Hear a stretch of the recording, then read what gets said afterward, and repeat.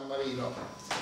Bene, prima di parlare di questi temi voglio fare una breve storia di incontri con uomini altamente qualificati che hanno segnato un po' la mia storia.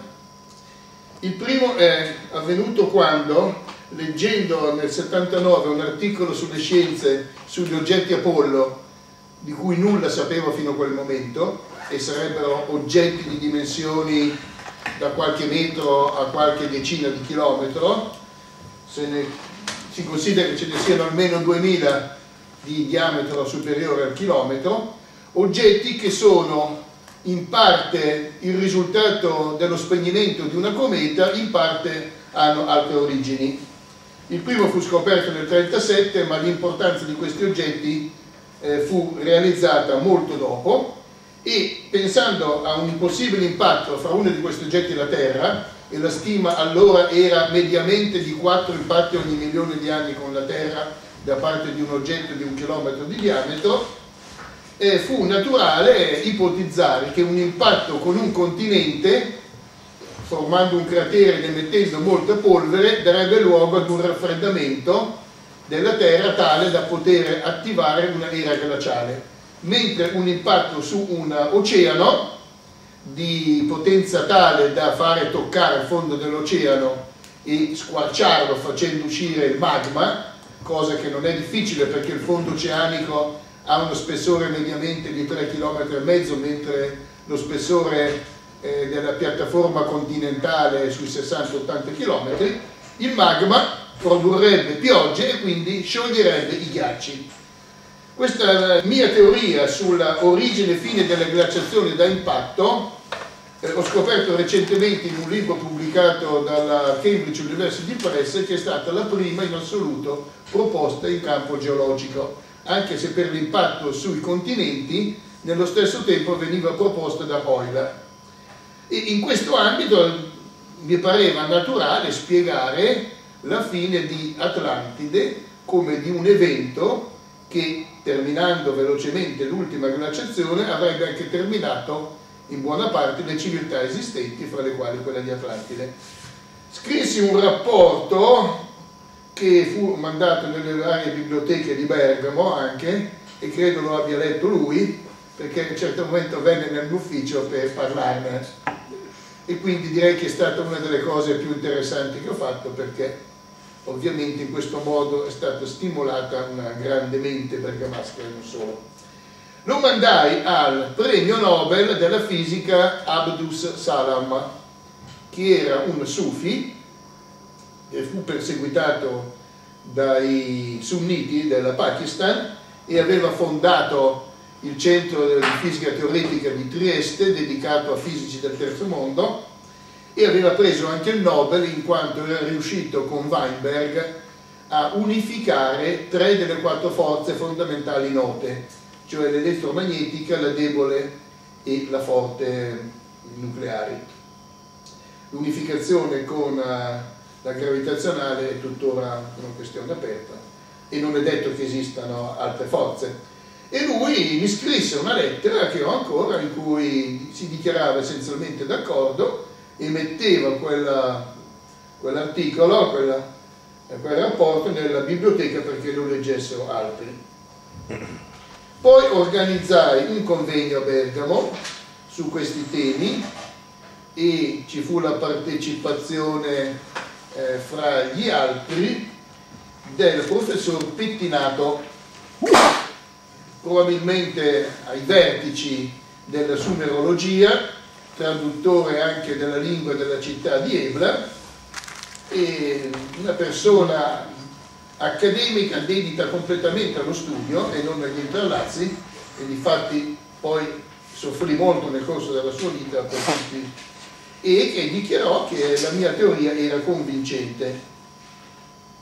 Eh, avevo avuto la fortuna, ma non la potei sfruttare allora, nel 73, 74 e 76, di avere una stanza in una casa a Stanford che era esattamente di fianco a quella di Luigi Cavalli Sforza, il grande statistico che divenne anche un genetista e che fu il primo a fare tramite analisi genetica a riuscire a eh, ricavare un probabile movimento dell'Homo sapiens dall'Africa attraverso eh, la Palestina verso l'Europa. È ancora vivente mi sembra, eh? è ancora vivente. Eh? Sì, deve avere più di 90 anni perché io l'ho visto due anni fa ma comincia a perdere un po' la memoria.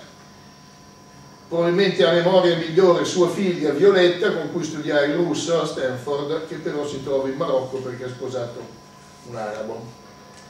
E anche Pettinati, eh, Cavalli Sforza venne al convegno che io organizzai a Milano nel 2000 eh, e nel 2000 e qui Cavalli Sforza fece una conferenza assolutamente straordinaria, ci furono altre conferenze da parte di Schock, da parte eh, di Tolman, da parte di Ginenthal e altri. E quello fu un po' l'inizio di un'attività che poi mi portò a contattare Alfredo De Grazia che io incontrai nella sua casa di Princeton, mi portò dalla figlia di Velikovsky, Ruth, l'altra figlia era partita per Israele, dove ha tradotto in ebraico le opere di Velikovsky, e De Grazia chiese di organizzare la sua possibile venuta a Bergamo finanziato dalla fondazione americana.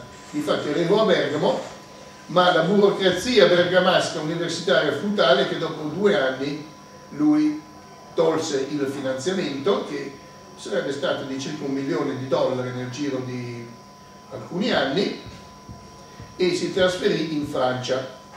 Andai, lo vidi per l'ultima volta a luglio e tre giorni dopo ebbe un infarto e morì e questo dopo aver avuto la Legion d'honneur a febbraio e successivamente così da morto ebbe la più alta onorificenza americana nel campo militare a Fort Bragg che fu data a sua moglie in quanto De Grazia era venuto la prima volta in Italia nel 44 43-44 come generale di cavalleria sbarcato in Sicilia fu a Monte Cassino salvò la vita a Moravia e poi anche, divenne anche un membro del primo governo di De Gasperi come ufficiale di liaison. Eh, De, Gas, eh, De Grazia ha dato contributi molto vari dal settore politico, fu il primo al mondo a pare applicare la matematica alla politica, sociologico, psicologico e con un astronomo Milton anche introdusse delle idee che sarebbero tutte da sviluppare sugli effetti delle forze elettromagnetiche accanto a quelle gravitazionali nella formazione sia delle galassie che dei sistemi planetari. Eh, tre anni fa eh, fui al Monte Bego, che si trova vicino a Tenda, è il secondo luogo più importante d'Europa in termini di graffiti, che sono tutti di un periodo estremamente breve, attorno al 3000 a.C., con indicazioni quasi tutte di carattere astronomico. Presentai la teoria che ho elaborato allora sulla Luna, al convegno organizzato da Henri de Lumblay, che è forse il più grande specialista eh, del paleolitico al mondo, scopritore anche dei, dei, dei resti di un uomo che ha mezzo milione di anni trovati in Francia, e la mia presentazione fu continuamente interrotta da lui che faceva domande non credendo certe cose, poi gli mandai i lavori e dopo tre mesi mi scrisse una lettera bellissima complimentandomi sui risultati che avevo ottenuto, sulla documentazione, sulle idee e dicendo anche lui come Abdul Salam che avrebbe posto i miei lavori nella biblioteca perché li leggessero tutti. Ed ora termino con riferimenti a due persone, uno è Vladimir Damokov che incontrai a un convegno organizzato alle Canarie e poi venne spesso a Bergamo e era un fisico e astronomo che ha sviluppato con dei russi un lavoro straordinario, ovvero il lavoro relativo al fatto che i processi non lineari eh, macroscopici sono quantizzati come i processi microscopici. Cioè gli stati in cui un sistema macroscopico modellizzato con il cosiddetto modello del pendolo non lineare è stabile, sono quantizzati. Come corollario derivò la legge di Tizius Bode, che è quella legge che è stata osservata sia per il sistema solare che per i satelliti dei pianeti, i quali pianeti si trovano a delle distanze che non sono arbitrarie ma soddisfano una certa legge che era stata derivata già nel Settecento in modo euristico. L'altro è Vladimir Rubtsov, un libro assolutamente meraviglioso sul problema della Tunguska. Nel 1908 esplose un oggetto in Siberia e ci sono più di stati fatti un migliaio di articoli pubblicati e di, articoli, e di libri, tutti in russo, quindi sconosciuti in Occidente. La conclusione è che non si sa ancora ed è forse dominante l'ipotesi che si tratti di un evento di tipo artificiale che abbia coinvolto delle astronavi.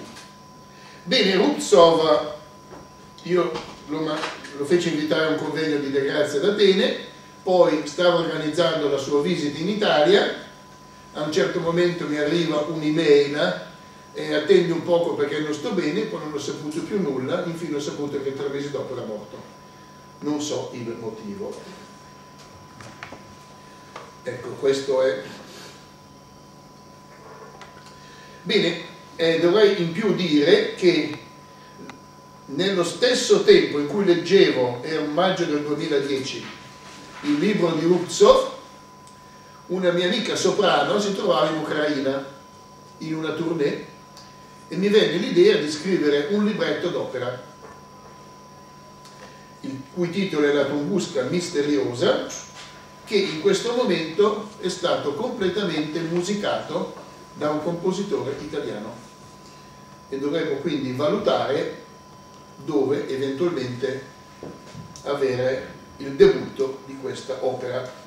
È un'opera il cui primo atto si svolge a Kazan, città scientifica, oltre che città interessante dal punto di vista antropologico, e dove ho casualmente conosciuto degli accademici a Reykjavik che facevano vedere le pubblicazioni che uscivano e sulle cui pubblicazioni ho pubblicato vari articoli usciti in russo e in inglese.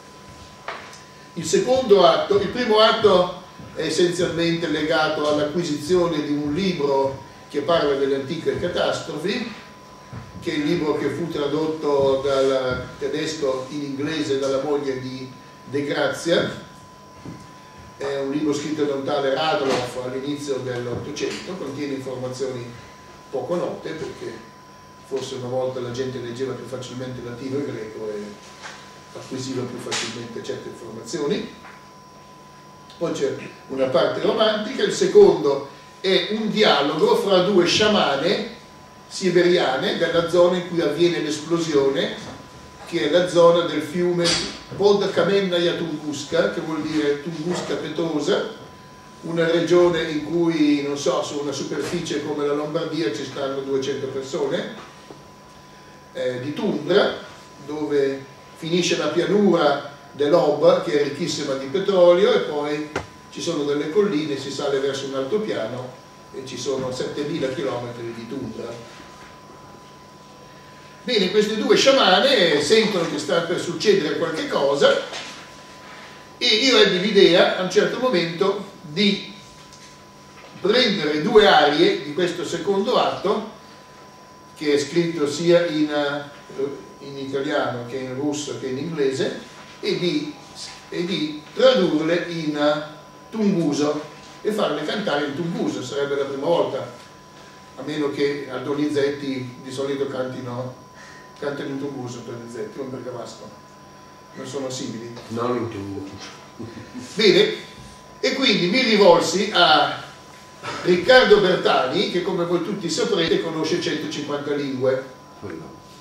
Ed è un pastore, non è un accademico, il quale a 15 anni si appassionò del russo, lo imparò in due settimane e ogni giorno si alza alle 5 di mattina e fino alle 10 studia ha pubblicato un centinaio di dizionari di lingue del Caucaso e della Siberia per la sua specializzazione, e scritto un migliaio di articoli e ne mandai uno a Mario Linei che è un accademico specialista delle lingue urofiniche che ha detto che è un lavoro di alta qualità.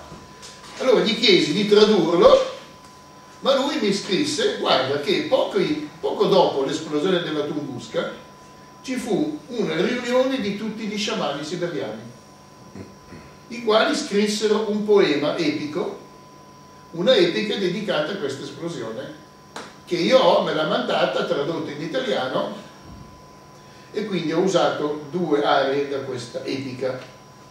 Il terzo è una discussione sul futuro Terra altri corpi, in cui parlano De Grazia, la moglie e una storica che era la figlia di Salvador de Madariaga e la cosa avviene in Toscana. Questo è Uzzo, che si trova, vedete sullo sfondo c'è Atene, andò al convegno cui io mancai e poi... Ecco, allora eh, io parlerò in questa lezione, in questa, degli eventi Tunguska e Super Tunguska, volendo anche Mini Tunguska. Partiamo da quello classico, il 30 giugno mattina del 1908 ci fu un'esplosione su questo fiume che è un affluente dello Yenisei.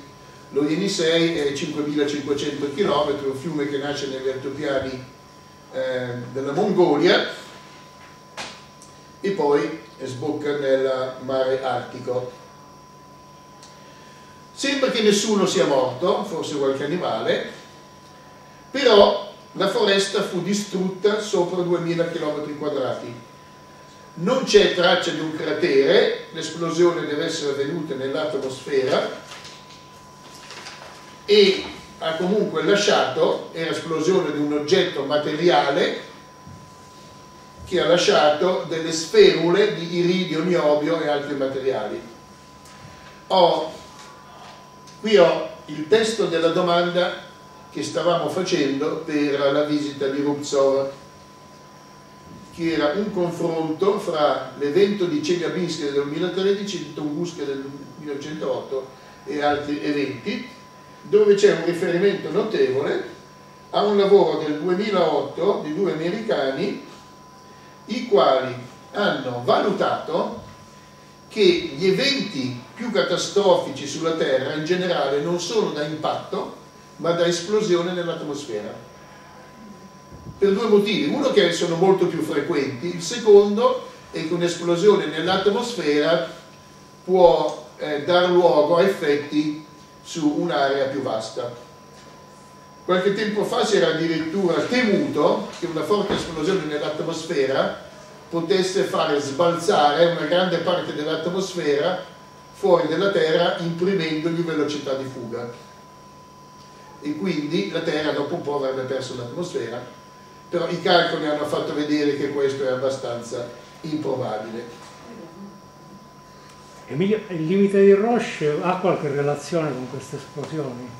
Beh, potrebbe certamente averlo, nel senso che il limite di Roche certamente può disintegrare l'oggetto. E... Ora, cosa si è osservato? Che i tronchi degli alberi della taiga sotto l'esplosione sono ancora in piedi e sono ancora intatti, non sono marciti.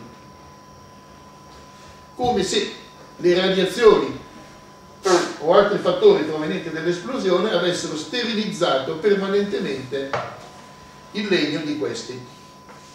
Inoltre c'è evidenza di mutazioni genetiche nelle formiche e nelle foglie delle conifere che hanno cambiato il numero degli aghi, che sono permanenti. Fatto molto curioso è che prima si sentì il suono dell'oggetto che stava arrivando e poi arrivò, ci fu l'esplosione. Questo significa che l'oggetto si muoveva a velocità subsonica e questo è un fattore abbastanza curioso in quanto generalmente eh, oggetti celesti che entrano nell'atmosfera hanno velocità supersonica, quindi prima appaiono e poi arriva il suono. Inoltre fu fatta una, una raccolta di testimonianze da parte di coloro che erano ancora in vita e che avevano assistito all'evento da bambini, perché ormai gli anziani erano morti, e le cose che si vedono da bambini di solito si memorizzano meglio, si conservano più a lungo, e è venuto fuori il fatto stranissimo di due oggetti che provenivano da due direzioni diverse e che si sono incrociati su quel punto. Ora, questo sarebbe più probabile se fossero due oggetti guidati da due giovani piloti della Lufthansa, della Lufthansa i quali volevano sperimentare una forma di suicidio più fascinosa piuttosto che due oggetti celesti in cui la, è una questione di probabilità ovviamente non è possibilità inoltre c'è l'evidenza che dopo l'esplosione qualche cosa continuò verso nord l'oggetto non era grandissimo sui 50 metri di diametro l'esplosione a 8 km d'altezza l'energia però sui 100 megatoni, quindi superiore a quella della bomba d'idrogeno che Khrushchev fece esplodere in Siberia sulla penisola del Taimir. Quindi la domanda aperta che io trasmetto a voi e appena avete la soluzione fatemelo sapere, era un oggetto naturale o artificiale? Bene. Emilio, c'è un dato che i londinesi per diversi giorni ah certo certo questo è interessantissimo leggevano il giornale a mezzanotte con la luce spenta in casa per certo, dire, a giorno a giorno illuminata a giorno tutta l'area sì, sino a una distanza di migliaia di chilometri comprendendo eh, dunque eh, Londra era ad almeno 5.000 km di distanza c'era una luce particolare, probabilmente polvere che rifletteva la luce del sole, eccetera, eccetera, che permetteva di leggere i giornali. Vabbè che era giugno e a giugno Londra, però non è la Scozia comunque. Qui è una, eh, la zona dell'esplosione che si trova vicino a Tomsk. E a Tomsk, curiosamente, c'è una è uno dei due centri accademici principali dei tre della Russia. Uno è Akademgaradok vicino a Novosibirsk, poi c'è Tomsk che è già dall'Ottocento e poi c'è Kazan oltre agli altri. A Tomsk ci lavora una mia conoscente che è una fisica la quale studiò inizialmente da soprano e studiò anche il pianoforte che si chiama Maria Felicia, ma non Malibran, Maria Felicia De Laurentiis. E ha una sorella fisica che è anche soprano. Questa è una delle zone con gli alberi che stanno ancora in piedi. Bene, torniamo indietro nel tempo. Eh, salto un probabile evento su cui però c'è poca informazione che riguarda la fine del 600 evento che devastò eh, il Canada soprattutto portò il fiume San Lorenzo a cambiare sbocco nell'Oceano Atlantico e portò anche un terremoto molto forte e di questo ne potrete leggere nel libro che uscirà prossimamente sui rapporti fra eh, precolombiani fra l'America e gli altri continenti che sto curando. Bene, nel 1178, mese di giugno, curiosamente è lo stesso mese del 1908, tre studiosi di Canterbury sedevano fuori, era una bella notte, una bella notte c'era la luna, e videro improvvisamente da un bordo della luna uscire una fiammata poi videro la luna tremare, sembrò tremare e cambiare di colore. Presso il, il polo nord lunare, che è la zona da cui fu vista uscire la fiamma, si trova il cratere Giordano Bruno, che sembra essere recente ed ha 22 km di diametro. Possibile causa un impatto di asteroide. Però gli oggetti che impattano molte volte, anche per effetto, come diceva lui, della, eh, della forza di, del limite di Roche, dell'azione dei limiti di Roche, sono frammentati. Oppure l'impatto non li polverizza tutti e si formano dei frammenti e potrebbe essere che qualche frammento passando tangenzialmente sul polo nord della Luna sia finito sulla Terra. Non nella parte occidentale perché non c'è evidenza, ma forse nella parte del Pacifico. Dove io ho scoperto che in, verso quell'epoca infatti ci sono tracce, indicazioni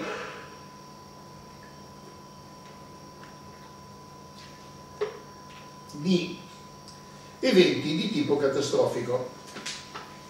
Nella Nuova Zelanda ci sono i crateri Tapanui, non sono molto grandi comunque, e c'è la tradizione di un incendio che bruciò gran parte delle foreste e uccise l'uccello Moa, che sarebbe quindi morto per una causa naturale speciale e non per eccesso di caccia. Poi c'è evidenza di una corrente Nigno molto forte lungo il Perù. Eh, queste correnti possono portare molte piogge. Lungo la costa peruviana, che è generalmente desertica con pochissime piogge, nella regione di Lambayeque erano state costruite delle piramidi con base sugli 800 metri, che vennero di terra dissolte in buona parte da queste piogge. Poi abbiamo la possibile migrazione degli Aztechi. Gli Aztechi sono, incontrano Cortez verso il 1500 e qualcosa e erano arrivati da poco in questa città di Tenochtitlan che si trovava, aveva forse 200.000 abitanti o di più, si trovava in un'isola in mezzo a un lago, il lago Texcoco, che si trovava a sua volta in una pianura circondata da montagne. C'è una tradizione che venissero dalla laguna per la zona di Aztlana, che forse era stata colpita da uno tsunami, e loro se ne erano andati in un posto ben difeso dagli tsunami, quindi molto in alto e circondato da montagne e in più dentro un'isola. E probabilmente eh, i loro sacrifici umani potrebbero essere stati motivati da un ricordo di quello che avevano subito. C'è evidenza che molte isole del Pacifico furono devastate, fra cui l'isola di Pasqua, dove si sarebbe salvata una piccola parte della popolazione antica, che era una popolazione di tipo ariano forse con delle orecchie molto lunghe nelle quali si facevano dei buchi e mettevano così dei, degli amuleti, dei, degli oggetti pesanti che allungavano le orecchie. Eh, tradizione, uso comune anche in India ed era praticato anche da Buddha, queste lunghe orecchie.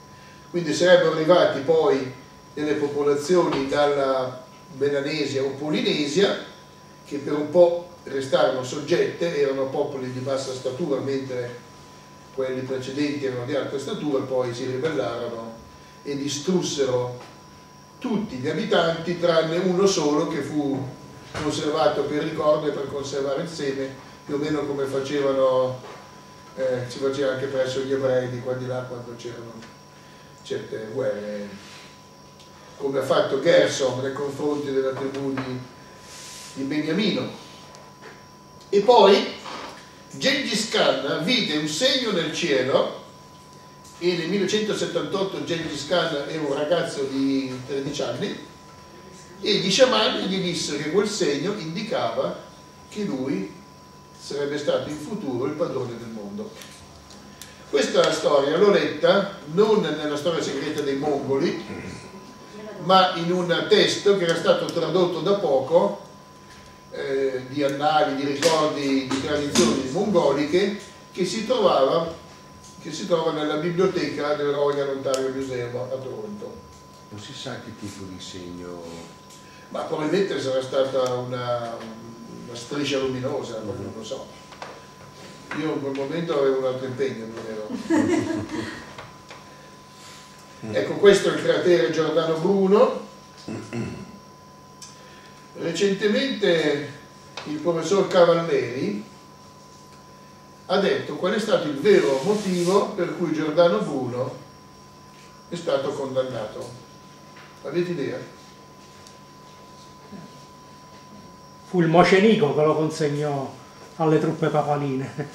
Dunque Giordano Bruno era un prete e confessava, poi gli fu tolto il diritto di confessare, ma lui continuò a confessare in Inghilterra passando le informazioni al re e portando alla eliminazione di molti cattolici, che più o meno è quello che ha fatto Montini, perché Montini ha passato a Stalin l'elenco dei preti in incognito in Russia.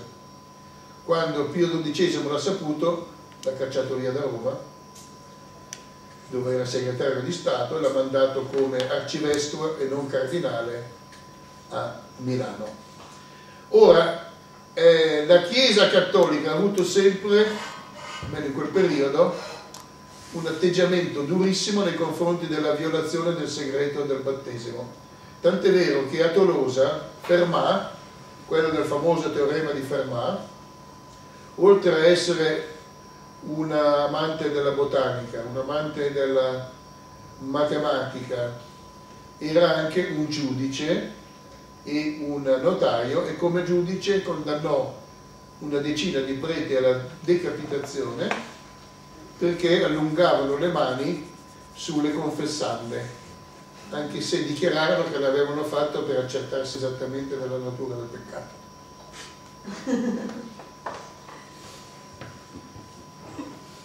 Anna Maria, al giorno d'oggi succedono queste cose?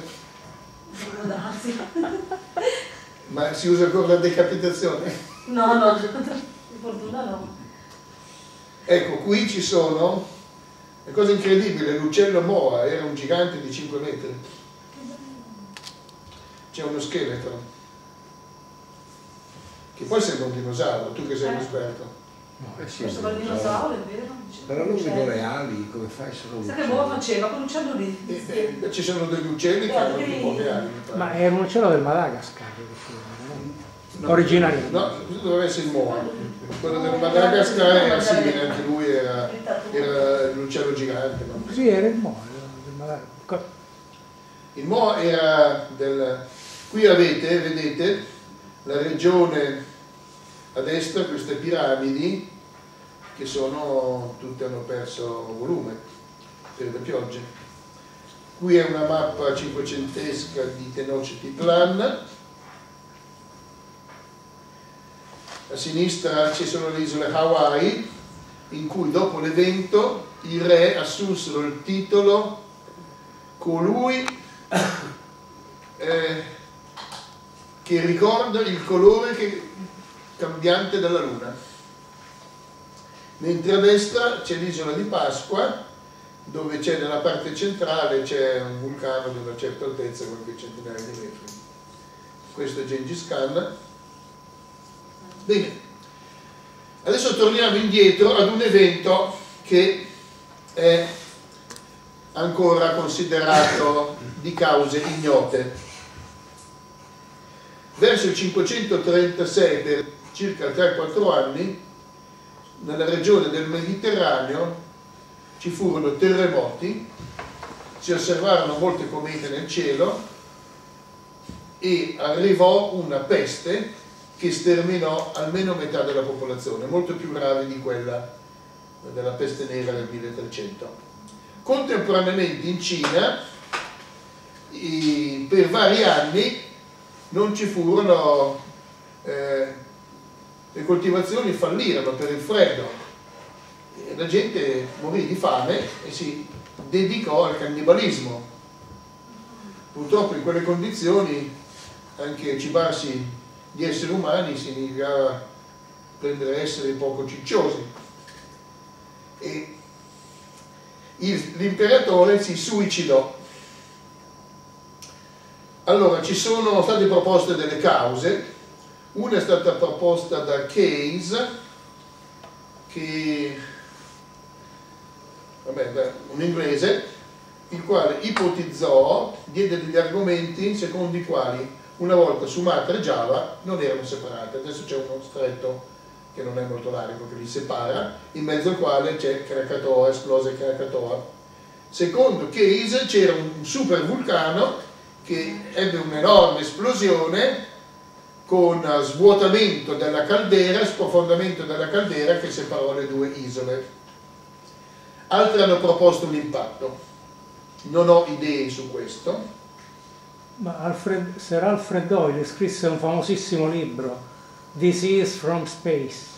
Certo, Era con lui e Chandra Kramasinghe erano convintissimi che venivano tutti dallo spazio. Certamente, difatti c'è l'evidenza negli storici bizantini dell'epoca, che io non ho ancora letto, li sono, mi pare Malalal, Zonara, eccetera.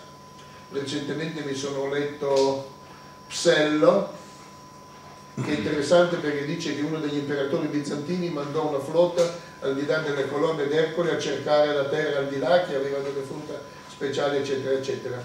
E poi ho letto Nicea di Coniata che è terrificante dove descrive quello che hanno fatto i crociati che arrivano a, a Costantinopoli fondono, c'erano Costantinopoli delle gigantesche statue di bronzo di epoca di Augusto e anche prima e le fusero per fare oggetti armi.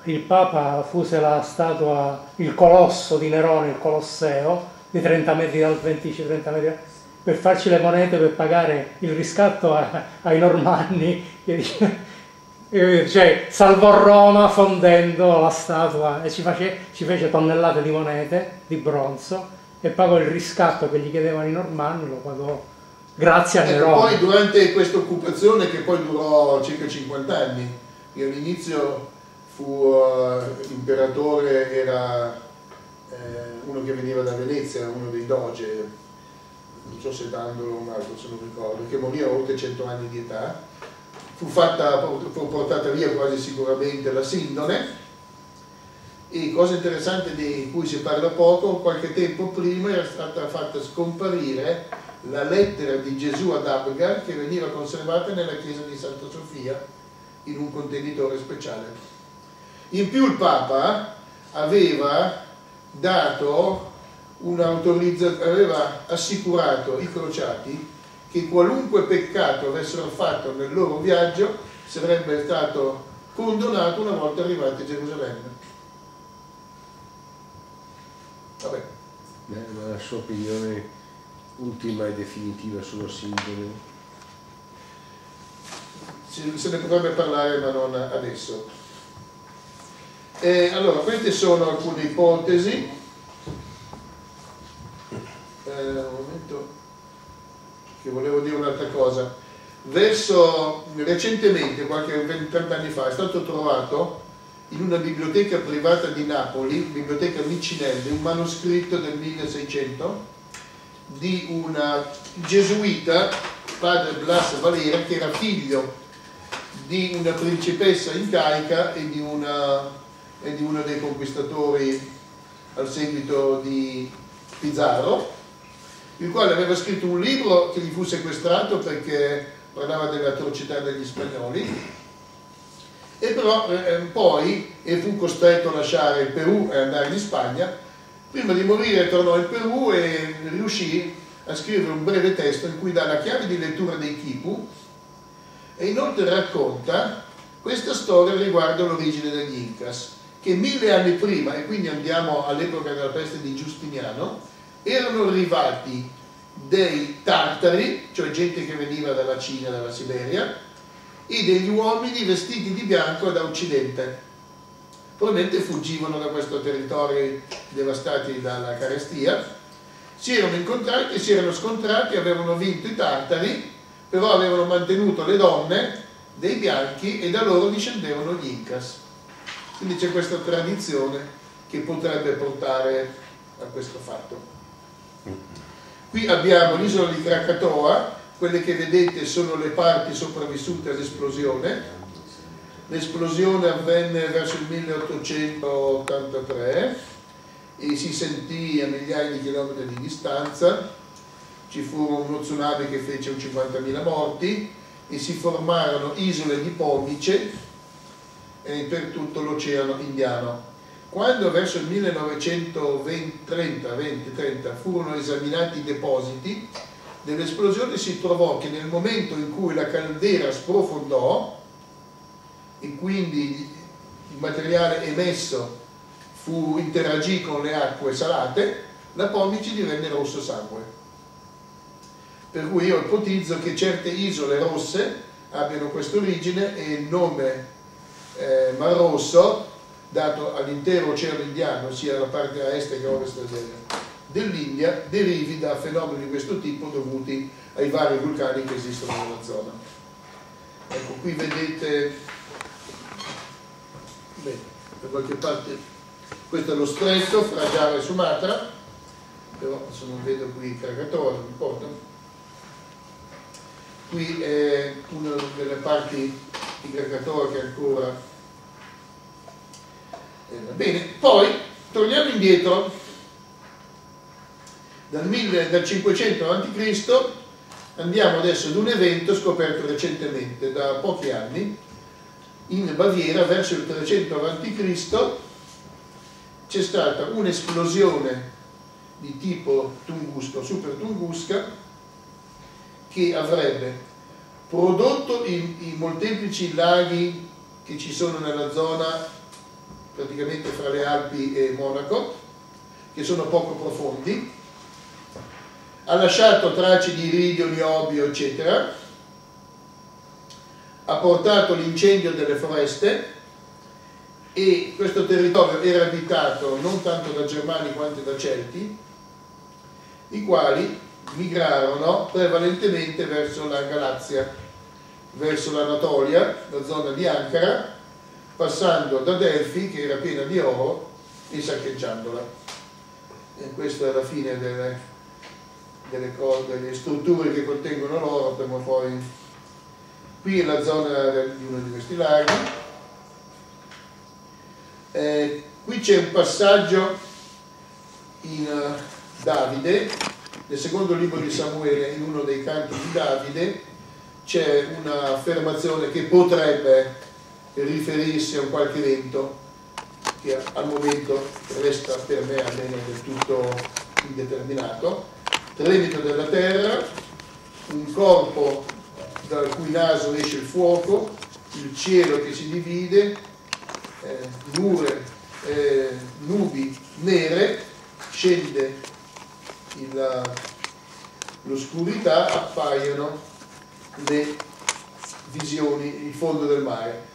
Questo potrebbe essere anche riferito all'evento dell'esplosione di tifone, di cui non parlerò oggi, esplosione che dà luogo al diluvio di Ogige, dove Ogige è uno strano nome misterioso la cui origine credo sia ancora sconosciuta, almeno stando a quanto mi ha detto il filologo greco di, lingua greca eh, Luigi Lenus, nessuno sa che cosa voglia dire Oviges.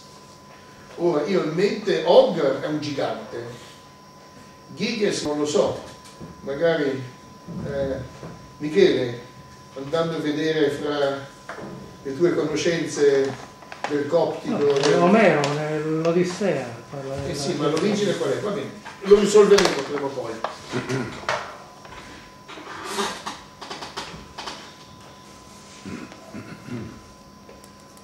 Bene, procedo però, ci sarebbe una parte su cui ho molto lavorato, ma mi limito a sorvolo essenzialmente, mi limito brevemente su queste immagini a dire qual è il risultato.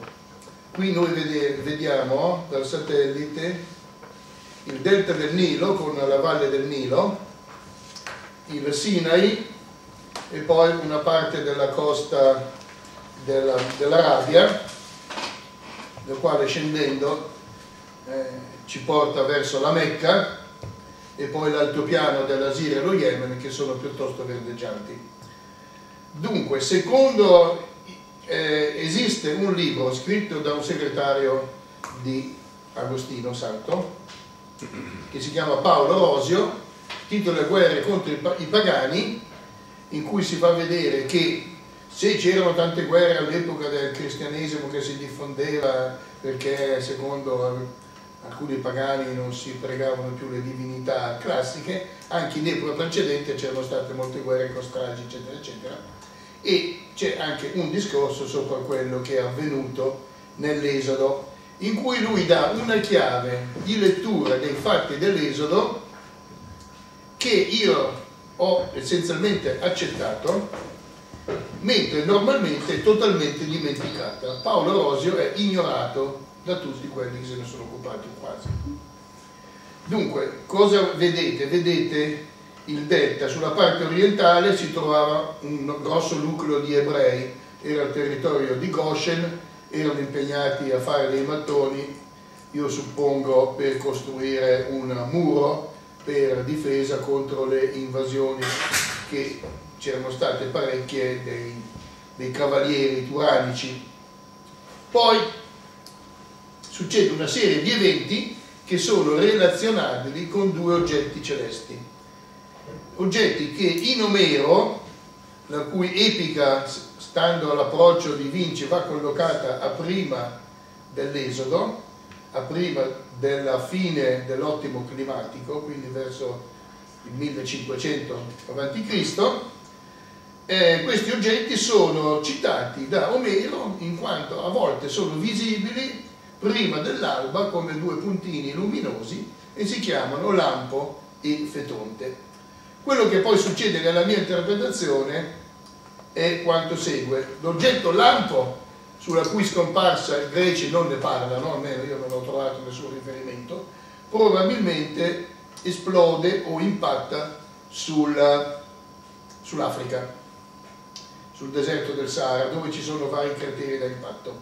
L'altro, invece, forse più grande, continua a girare finché entrando nell'atmosfera comincia a disintegrarsi, eh, passa, si muove su un andamento che lo porta più o meno dallo Yemen a passare sopra Aqaba e poi sopra la Grecia e poi sulla Germania del Nord dove alla fine esplode sul fiume Eridano ed è l'oggetto noto come Fetonte, il luminoso. Il fiume Eridano non è il Po, ma è il fiume Aider, in quanto già eh, i geografi latini avevano due ipotesi, che fosse il Po o un fiume del nord, diventa il Po quando popolazioni del nord scendono e danno a strutture geografiche del nuovo luogo i nomi delle vecchie, e il fiume Aider, il quale fiume in quel periodo si univa al fiume Schlei costituendo una via d'acqua che permetteva l'accesso diretto dal Mar del Nord al Baltico, quindi evitando di fare 1500 o 2000 km del giro dello Jutland risalendo lungo il Mar, Nord, Mar del Nord che è spesso molto tempestoso. Inoltre il fiume Aider ha un andamento a zigzag che corrisponde a quello della costellazione Eridano. Non è una mia scoperta questa perché è dovuta al geografo eh, tedesco Wirth che l'ha pubblicata su Migration and Diffusion. Bene, l'esplosione di Fetonte eh, fa propagare radialmente l'aria a temperatura di almeno 1000 gradi e velocità inizialmente prossima a pure 1000 km. Propagandosi questo vento caldo diventa sempre meno freddo, però con durata più maggiore. Inoltre l'esplosione è anche associata ad un terremoto, che potrebbe essere quello descritto da Davide, se non vado errato, in un salmo in cui le montagne sono dette saltare come capretti. Terremoto che colpisce anche l'America del Nord e molto probabilmente porta alla destabilizzazione degli idrati di metano che si trovano nel mondo in tre luoghi, lungo le coste della Cina, le coste del Pakistan e le coste sud degli Stati Uniti. Gli idrati di metano contengono forse 10.000 volte più metano che tutte le altre sorgenti. È una fonte potenziale di metano ancora da sfruttare, che non si sa come sfruttare, così via. Quando si destabilizza l'idrato di metano abbiamo la separazione fra molecole di acqua e di metano e quindi ha, esce un gas che può spingere le acque dell'oceano in uno tsunami gigante. E stando Stuart Harris c'è l'evidenza per quel periodo di uno tsunami che è entrato 2000 km negli Stati Uniti devastando quella che forse era la civiltà numero uno al mondo allora eh, concentrata sull'Ohio, sul Tennessee civiltà che aveva costruito piramidi più grandi in volume della piramide di Cheope e che sfruttava le miniere d'oro del lago superiore esportando l'oro anche al di là dell'Atlantico. Bene, nella regione mediterranea questo vento spinge a sud le acque del Mediterraneo, le vedete là, e queste acque invadono il delta e probabilmente nessuno sopravvive nel delta, il che significa che il 99% della popolazione egizia viene sterminata i, i fanghi, le sabbie portate ricoprono anche i monumenti che c'erano allora, secondo Velikovsky siamo alla fine del Medio Regno, che è stato il periodo più splendido forse del, dell'epoca egizia, di cui è restato pochissimo perché quel, quel poco è stato devastato oppure si trova sotto metri di sedimenti. O leggendo un libro di pochi anni fa sugli tsunami, concentrato sugli tsunami dell'Oceano Pacifico, ho anche letto la nota che era stato accertato da poco che uno tsunami aveva coperto tutto il delta arrivando sino alle piramidi. Quindi la mia ipotesi sarebbe stata confermata. Poi sull'oceano, sul Mar Rosso, che voi vedete, il vento eh, soffia spingendo le acque a sud. Il Mar Rosso è orientato esattamente nella direzione da cui arriva il vento. Se prendete un globo vedete questo orientamento, queste acque si accumulano alla, alla porta esterna in fondo al Mar Rosso dove c'è uno stretto che si chiama Bab el Mandel, che vuol dire porta del pianto, dell'alimentazione. Il ricordo degli effetti nella parte meridionale del Mar Rosso dove si affacciano le zone più piane dello Yemen che probabilmente sono state devastate ed è noto che per circa 400 anni lo Yemen non si costruì nulla, fu devastato completamente.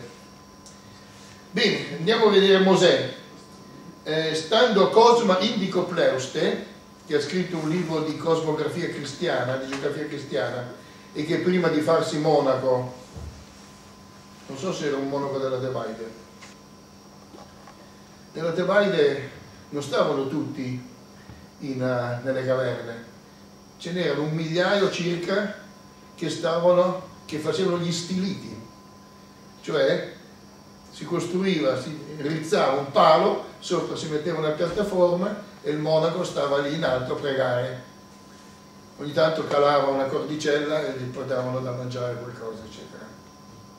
Quando eh, Maometto II conquistò eh, Costantinopoli, Costantinopoli era praticamente vuota, era un'immensa città con delle mura di Teodosio gigantesche, doppie, eh, avevano 8 metri di spessore, erano alte 15 metri più, dove non erano rovinate, e c'erano 30.000 abitanti.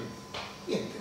L'esercito di, di Maometto aveva 300.000 soldati e in più aveva le bombarde costruite da ungheresi erano cannoni che sparavano palle di, di, anche di bronzo, ma palle di, anche di 80 cm di diametro.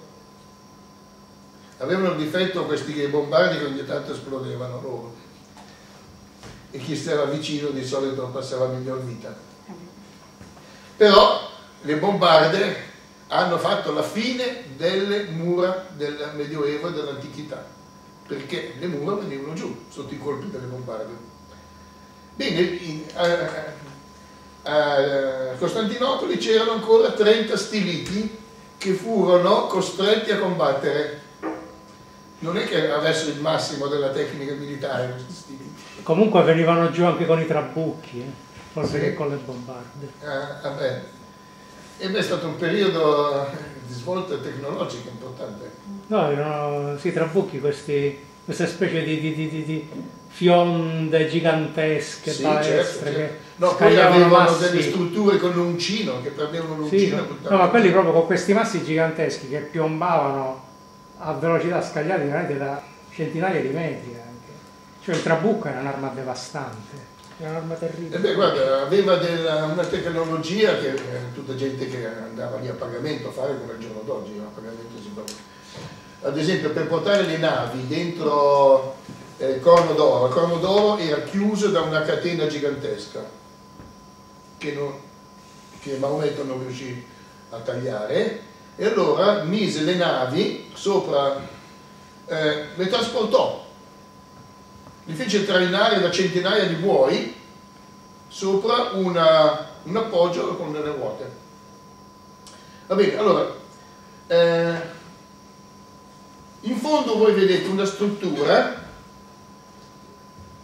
che la vedete una Ras Mohammed, ecco, una struttura che attualmente si chiama Ras Mohammed, vuol dire testa di Maometto. Normalmente questi nomi si davano a strutture sacre. Questo è il Balsafon biblico nella mia interpretazione, che vuol dire, eh, ci sono i tre nomi classici che sono eh, Signore dei Naviganti, che è perfettamente accettabile in quanto lì arrivavano dall'India navigatori che si chiamavano, avevano il nome generale di pani, che vuol dire quelli dell'acqua, ma avevano anche il nome specifico di tirani, che vuol dire quelli forti, e hanno lasciato il loro nome, le, le isole che vedete fra eh, il Sinai e l'Arabia si chiamano isole di Tiran, e poi questo Tir lo trovate in Tiro, Tirinto, Taranto, eh, Altura che si trova lì, eccetera.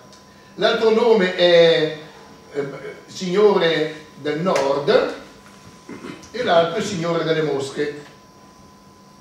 Non so se ce ne siano altri, potrebbe essere. Bene, la mia opinione è che questo fosse il dio dei naviganti indiani che venivano dall'India meridionale, quindi era il dio Shiva, il quale era dio dei naviganti certamente, era dio del nord, signore del nord, perché il trono di Shiva è il monte Kailash, sulla cui cima Shiva ha il suo trono, dove sta di solito con Parvati, moglie numero uno, però c'è anche moglie numero due, tre, quattro, non so. E poi, signore delle mosche, nome interessantissimo perché sicuramente dei naviganti egizi o greci capitavano nell'India e visitavano i templi, in particolare il tempio di Shiva nell'isola di Elefanta, che è vicino a Bombay, che è davanti a Bombay. Ora, come sono le statue delle divinità indiane? Sono statue simboliche, tre teste e, e quattro braccia. Eh, Kali eh, ha una tutta delle, delle collane di testi e poi c'è Durga che cammina tenendo per i capelli la propria testa che è tagliata e così tutte statue che hanno dei significati esoterici che ovviamente i bramini mica andavano a dirli ai naviganti ai marinai. Ora nei templi indiani cosa si offre alle statue? A parte l'incenso che veniva usato dai bramini in casi speciali e per un motivo che sarebbe lungo dire, si dava il burro, il burro chiarificato che si chiama ghee, che può essere di valore altissimo perché c'è del burro che si riesce a conservare 400 anni e più secoli ha, più buono è e più saporito è, pare, e più caro è. Si dava il burro, essendo l'India più calda, che ne so io, dell'Africa, il burro si scioglie. E- e però gli indiani amano gli animali, gli insetti, nessuno quando un indiano cammina sta attento a non schiacciare una formica. Quindi arrivavano le mosche e i topi che si mangiavano questo e quindi i templi indiani brulicavano di mosche e di e di topi, soprattutto di mosche, e quindi era il re delle mosche. Questa è la mia interpretazione. Vabbè, lì perché ci va il signor Mosè? Ci va perché lì c'era un santuario. Se voi andate a Ras Muhammad come sono stato io, si vede chiaramente il posto sopra il quale doveva esserci un santuario, che poi è stato devastato dall'onda di ritorno o da qualcuno che l'ha buttato giù come hanno fatto. Vabbè. Dopo vi chiedo, vi dico in quale caso la tortura è autorizzata da un grande santo. Eh, in, in questo santuario c'era, dice il Talmud, un terzo dell'oro che l'Egitto aveva risparmiato grazie a Giuseppe. E poi c'erano tutte le altre offerte, eccetera, eccetera. C'era tanto oro. E io penso che Mosè se lo prende dicendo che Giuseppe era un ebreo, quindi faccio bene a prenderlo, non, non è sbagliato. E però gli serviva quell'oro per un motivo che fra un po' vedrò. Lui prende l'oro, il faraone lo sa immediatamente. Oh, tenete conto che i popoli antichi avevano un sistema di comunicazione di cui si parla poco e che permetteva al faraone in non più di tre giorni di sapere cosa era successo. Ed erano i piccioni viaggiatori che si trovavano presso tutti i templi. Anzi, il giorno giorno può fare 300 km a volte anche 600 km. In Grecia era- c'era pena di morte per chiunque danneggiasse uccidesse un piccione viaggiatore.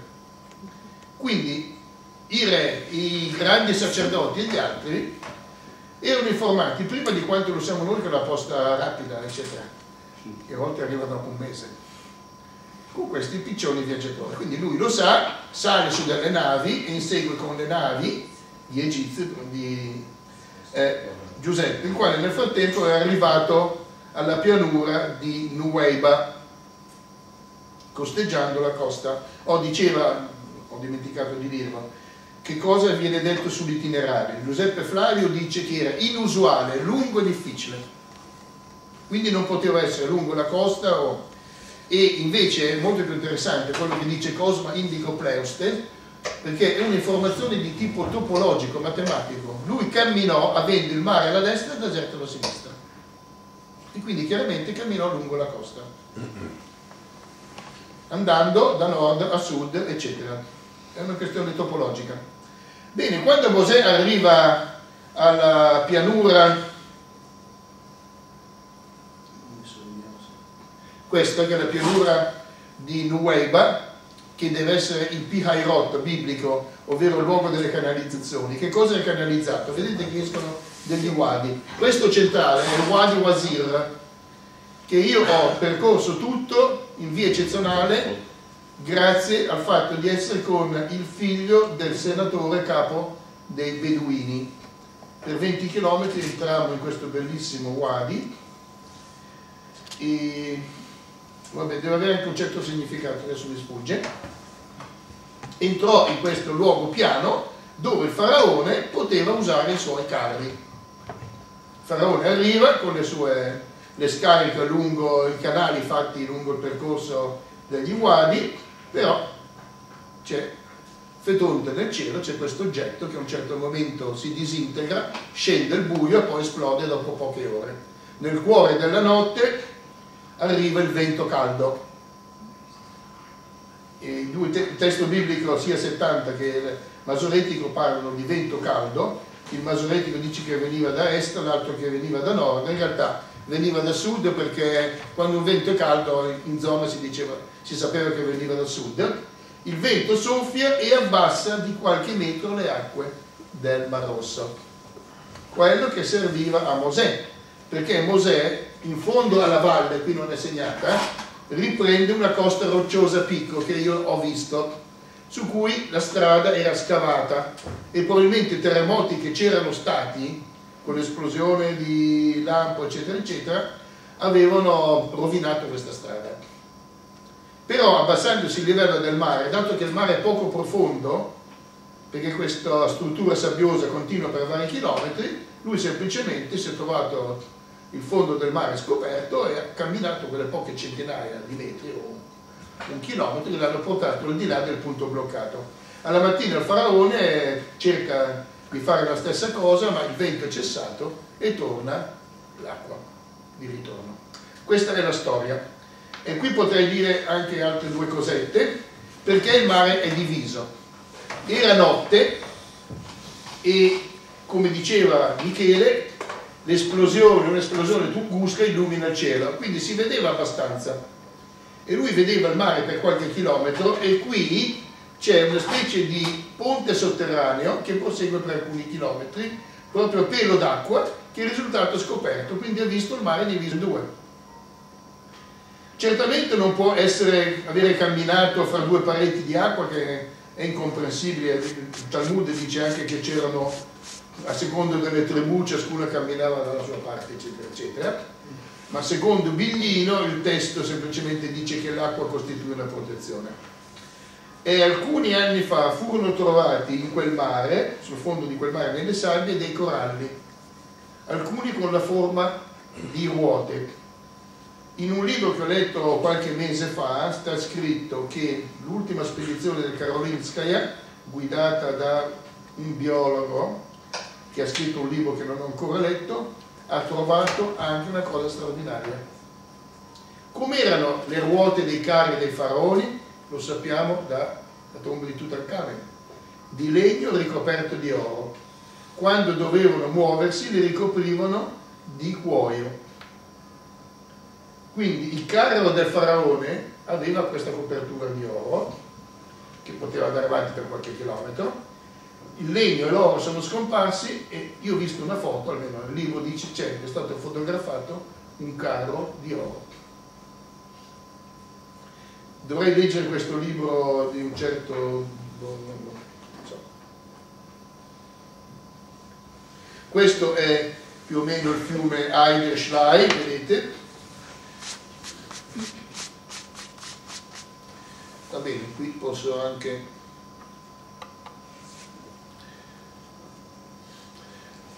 dire qualche cosa sull'evento tifone la cui datazione ho scritto queste cose qualche mese fa adesso ho qualche risultato nuovo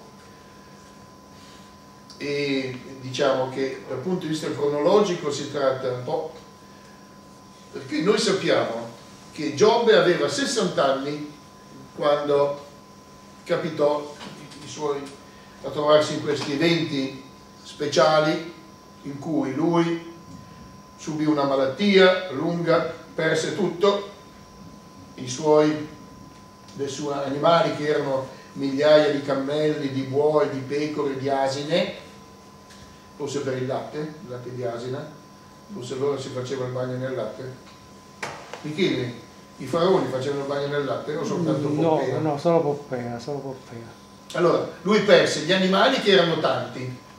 Io ho anche il sospetto che non fosse, facesse soltanto allevamento di animali, qualcuno lo, aveva anche cammelli, qualcuno lo poté portare anche in Egitto, perché prima di essere in Palestina dove pare che fosse, la città di Giaffa si chiamava Gioppe prima. E c'è tutta una serie di indicazioni che lui probabilmente al momento dell'evento si trovava sul monte Tabor dove aveva passato alcuni anni così in una caverna, in un pozzo di qua di là. E ne uscì quando la famiglia fu distrutta.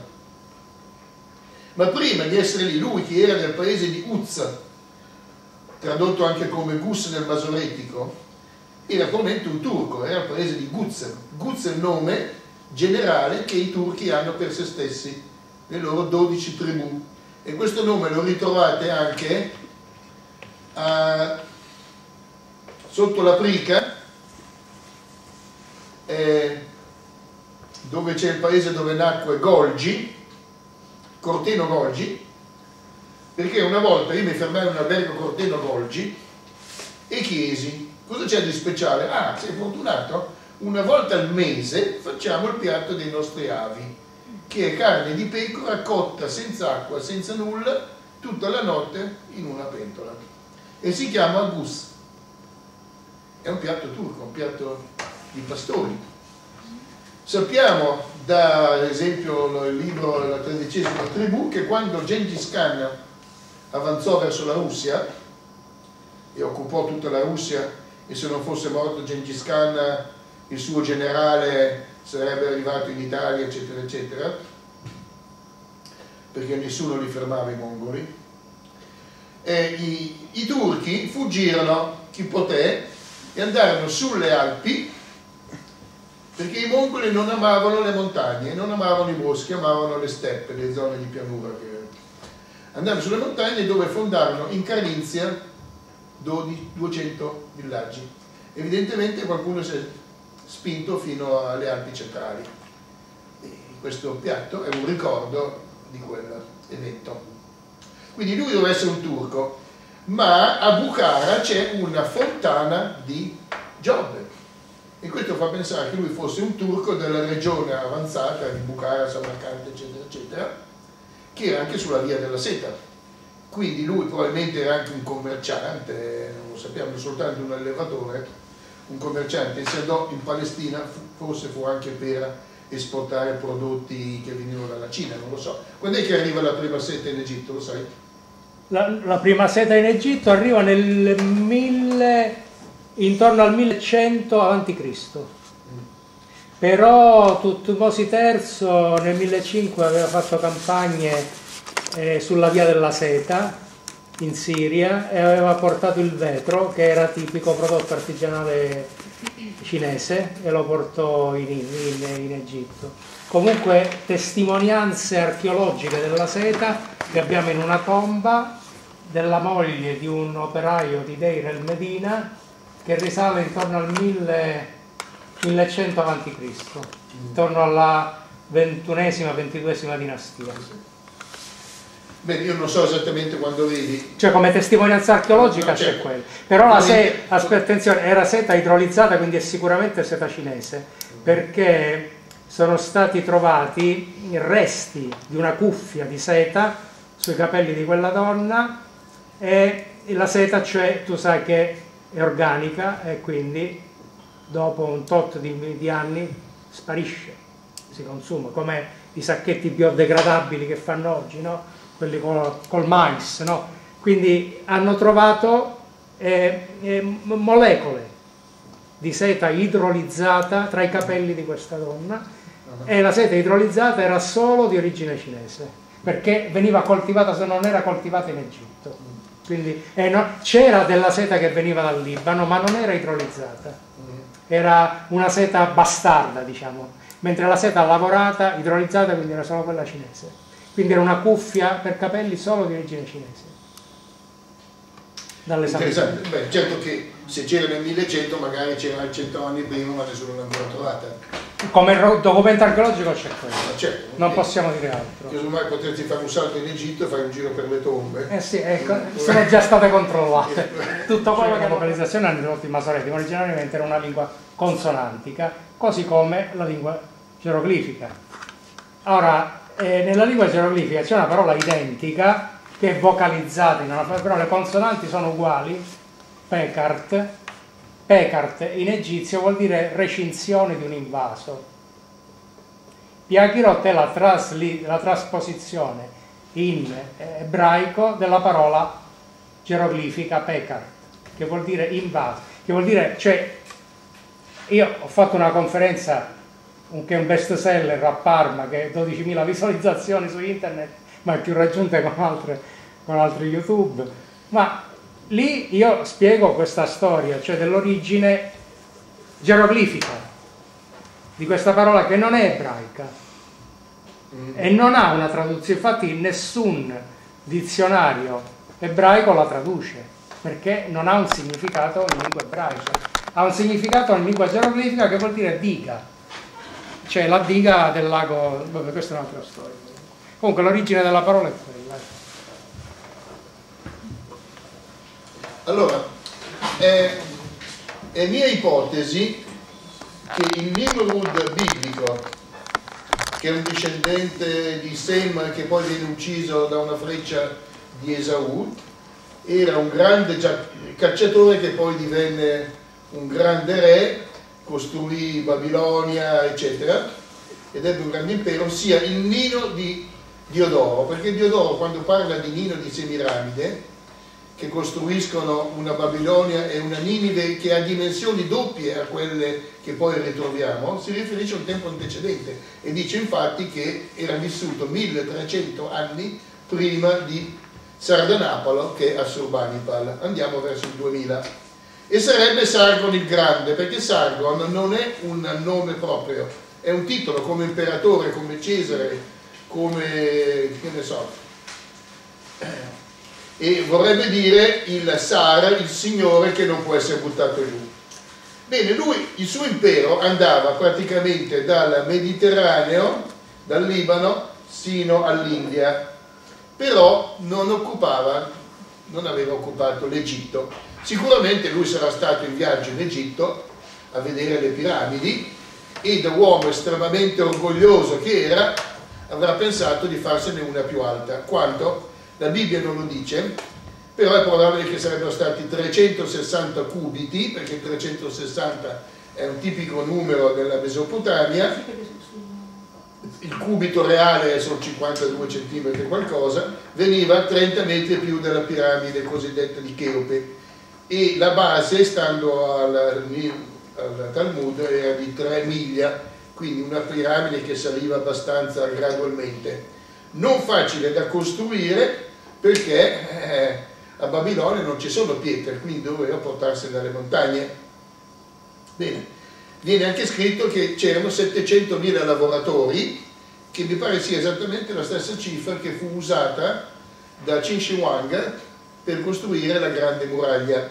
No, ma anche il mausoleo, quello dove c'è la fossa con i, con i famosi guerrieri di terracotta. Sì. E anche lì 700.000 Xi'an, lavoratori. Xi'an. Mentre adesso sono solo 5.000 quelli che lavorano a- a- alla fiera di Milano.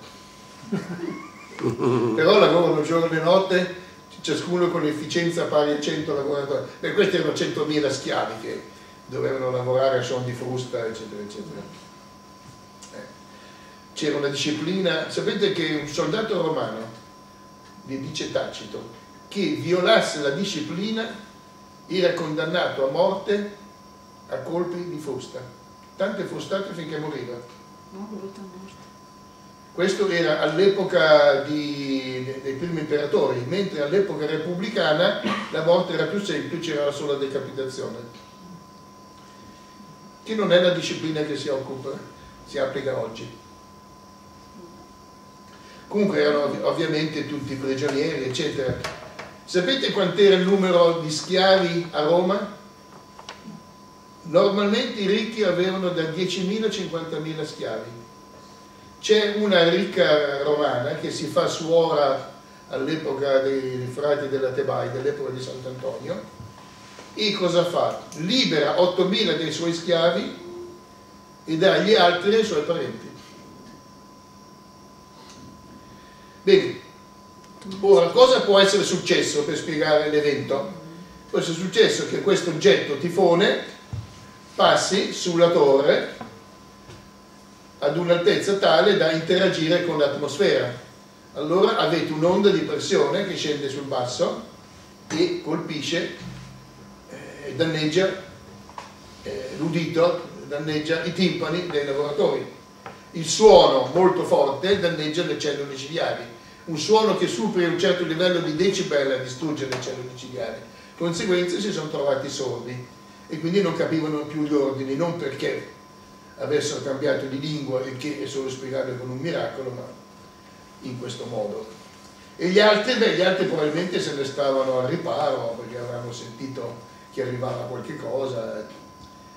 E c'è 700.000 lavoratori dove andavano? Non era previsto un riparo per loro. Oh, Quindi qui secondo te la Torre di Babele la effettivamente... torre di Babele, poi fra i terremoti eccetera, e poi è andata giù come in, sono passati 4.000 anni, questo era Sargon, Quindi esisteva. secondo me esisteva, l'hanno costruito eccetera. Cioè, l'ho costruito però poi le persone, cosa lì, sono tutti sordi, come devo parlarsi. Non sono riusciti a finirla. Abbiamo qua, mi fermo qui per oggi.